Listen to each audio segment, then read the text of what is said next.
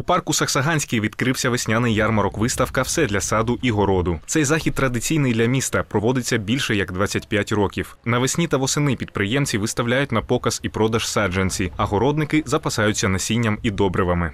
На экспозициях представлены плодовые и декоративные деревья, кустарники, семена, э, средства защиты растений, хвойники. Ну, в связи с погодными условиями чуть потеплее добавятся еще цветы и комнатные растения. Карантин обмежує кількість можливих учасників ярмарку до 20. Сьогодні у виставці беруть участь 15 підприємців з Дніпропетровської та Кіровоградської областей. Наши ярмарки – это выход в люди. Наши ярмарки специально для того, чтобы люди приходили, не боялись, покупали нашу продукцию. Мы выращиваем как для себя. У нас очень большой ассортимент. Мы стараемся выращивать те сорта, которые у нас действительно в нашем климате, в нашем регионе подходят, для нашего грунта. То есть стараемся именно для наших криворожан. Підприємці, учасники заходу, традиційно долучаються до озеленення міста.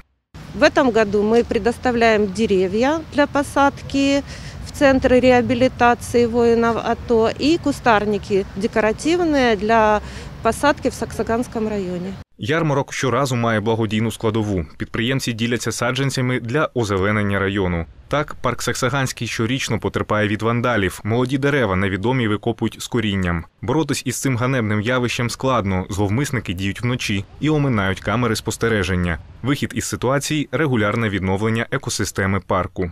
Враховуючи те, що в нашому районі буде проводитися місячник уборки та озеленення нашого району, для нас це питання того, що буде проводитися ця ярмарка, є надважливішим.